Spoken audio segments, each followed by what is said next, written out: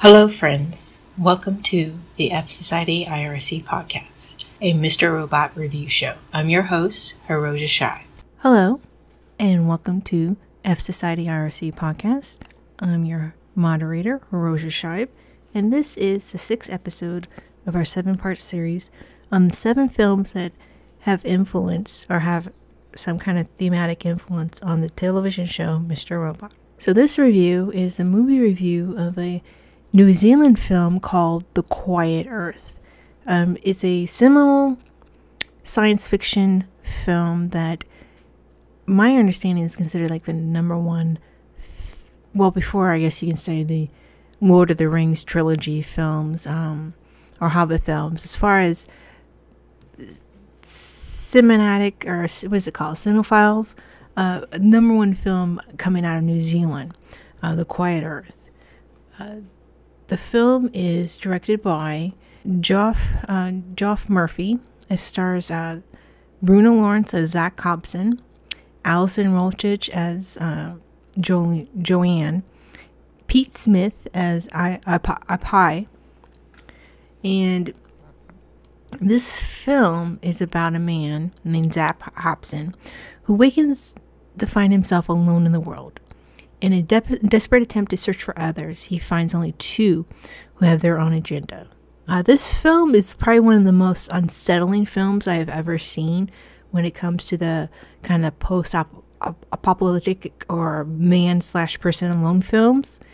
Uh, even more unsettling than, uh, what's that freaking Tom Hanks movie? Um, Cast Away as far as being alone by themselves as an individual. This film, as far as the um, kind of sci fi elements, is very, you can say, almost hard sci fi. It is based off of a book, but is heavily influenced by stuff, movies like, um, I are not movies, but books. I Am Legend. Um, what is another film? Um, it's considered the unofficial remake of a film called uh, The World, the Flesh, and the Devil, which was a doomsday film of the similar pre- premise of people alone, finding themselves alone on the earth, and something has happened, and everyone is basically gone except for these very handful, and in this case, three individuals. Um, it stars Harry Belafonte. I've actually never heard of this film. I might end up uh, checking it out, but it's it's one of those kind of end of the world things films. Uh, let's see. Uh, it's very grounded as far as uh, films go. There's not some kind of like weird, um, you know, like zombie outbreak or vampires like I Am Legend or Walking Dead or Night of the Living Dead. Uh, it doesn't have some kind of mystical, fantastical element like The Stand, uh, which you know, the fantastical element of the stand doesn't come into much later until after like the plague um, is unleashed. In this case, the plague, unlike the zombie plague, um, is like a flu virus where people are di- are dead. There's like no physical bodies to indicate that death has occurred in the film. So it's basically this guy when we first uh, encounter him. You know, he's a scientist. He's working in some kind of lab. Uh, he wakes up um, kind of goes to work, kind of has a weird flash of his boss, his flash of light, and there's basically there's nobody. It's just him for like the longest time. And have you ever seen that movie? Uh, not movie, but the television show, The Last Last Man or Last Standing Man? It was on like on Fox. It's like a comedy. Um, the very first few episodes where that character is doing crazy shenanigan stuff, like hit, you know, robbing banks and play acting with food and smashing cars. Um, he does some of that in the in the very beginning once he realizes he is stuck here and he doesn't know how he can, can get out of here.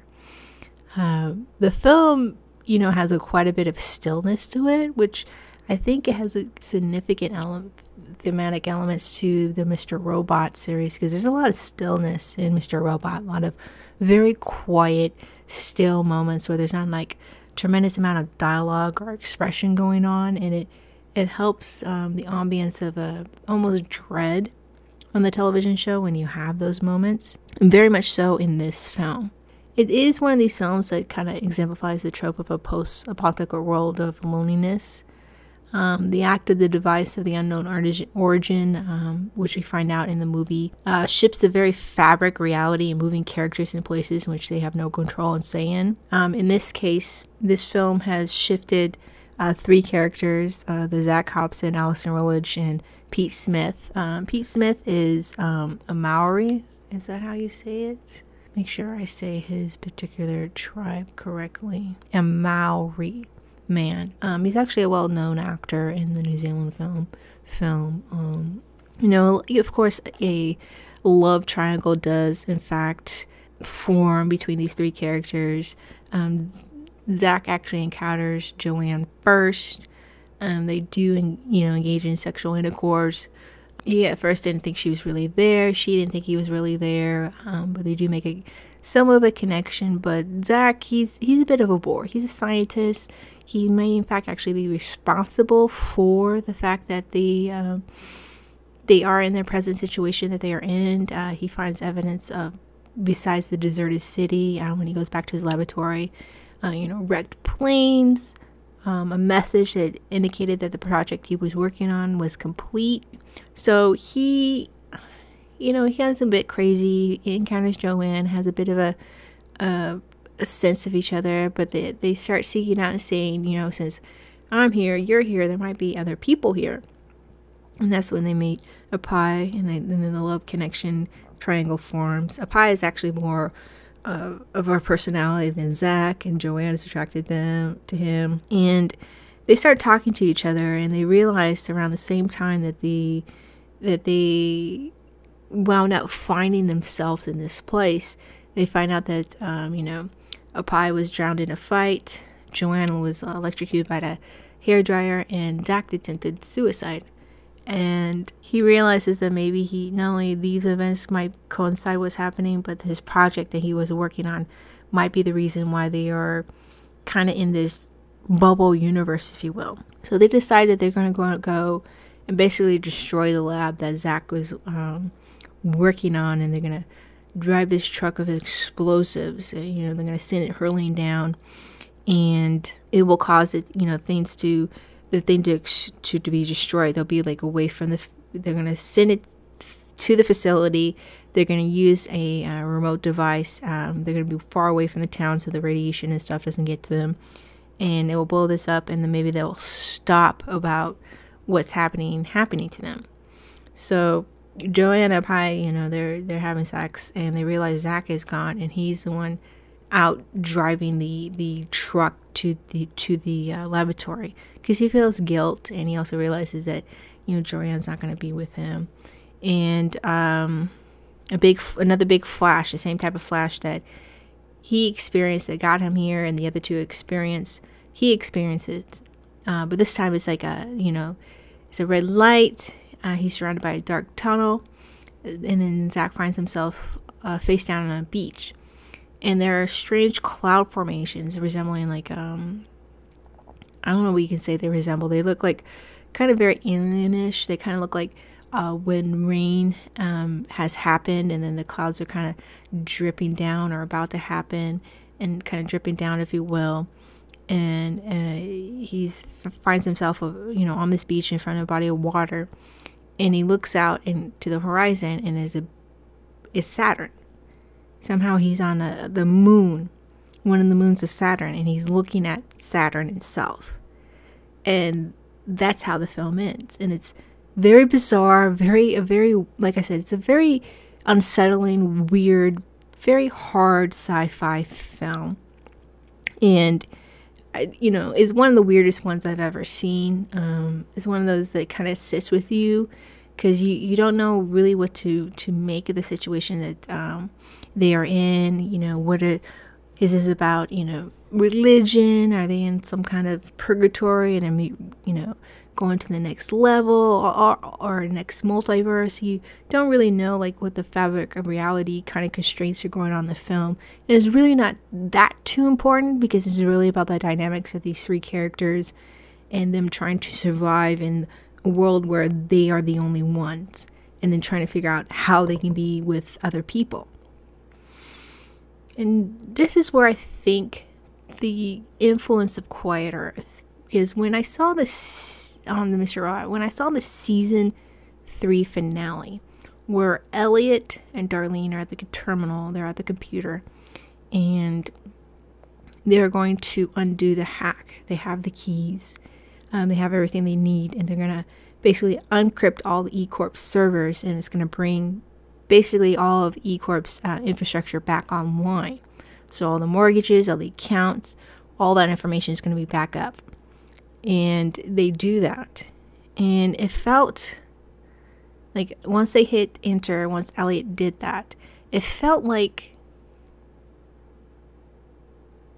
it felt like Elliot was going to a a new world, if you will. He had opened himself up to new possibilities. This is the ending of one existence and the beginning of something completely different. Everything that had to happen had happened with F Society and the hack and the chaos and the fallout, if you will. That stuff has ended, and this there's this new world, this new, completely, utterly different path that Elliot is on, a completely different world, if you will um, that he is on the precipice, precipice of, and we're about to find out with the the season four, um, when the season four comes um, back, what that what that world is going to be. And that was just it just instantly struck me as uh, as soon as he hit that enter, and boom, you know, everything is is going to come back, if you will. I also think at the same time, um, since we don't really truly fundamentally know completely about what the Washington Township device is, there's been hints, theories about, you know, alternate and multiple multiple universes, time travel, um, that maybe the device has a kind of a a play, if you will, in the sense of, of utterly changing the world, or maybe it already has changed the world once and could change the world again. We really don't know. This, these are the answers we're going to get um, for next season. And